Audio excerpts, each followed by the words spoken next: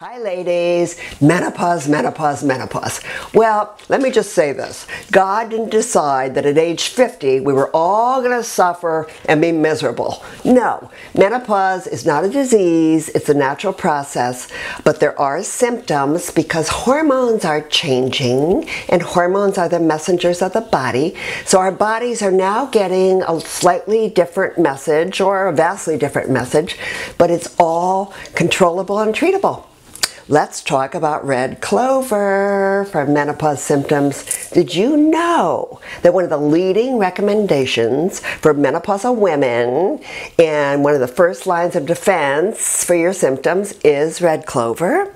Red clover is a phytoestrogen, which means it gently raises estrogen levels and is wonderful for those of you who do not wish to use bioidentical estrogen or you can't find a doctor who will give you bioidentical estrogen or you can't afford one.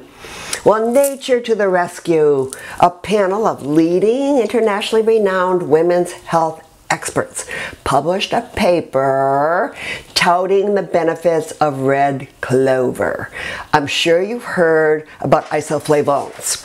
Well, they have benefits, and red clover has more isoflavones than soy, and it does not negatively affect the thyroid as soy has uh, can do. It has all the four major isoflavones in red clover, where soy has only two. And you do not need a doctor to get red clover.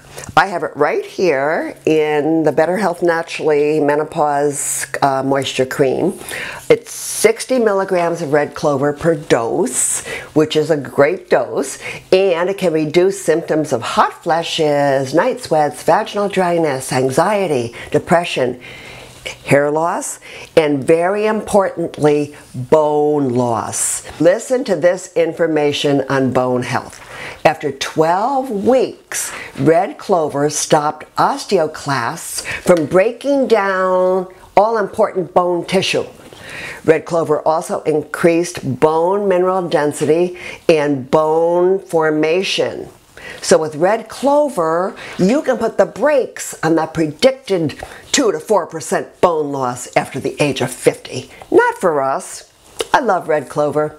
Um, there is a over-the-counter capsule called Promensil that has 40 milligrams of red clover, but it contains no progesterone and of course it's a weaker strength.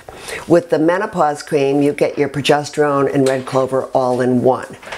Also, uh, once again, it comes down to pill versus cream. And if you know me, my motto, cream comes first over all the other choices. Other powerful benefits, red clover isoflavones protect the heart by reducing plaque and increasing those good cholesterol levels. Red clover can also improve diabetes and insulin resistance by lowering glucose levels and balancing your blood sugar.